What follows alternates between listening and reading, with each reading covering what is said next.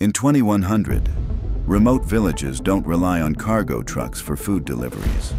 They are served daily by drone-winged cyber chickens that drop fresh eggs from the sky.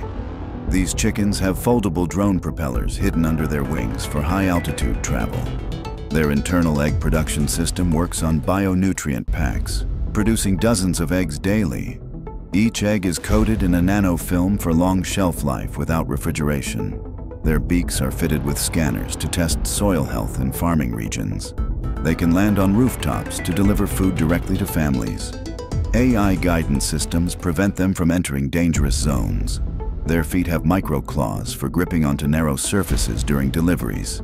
They operate in synchronized flocks, covering hundreds of villages in one trip. Solar charging feathers keep them flying day and night.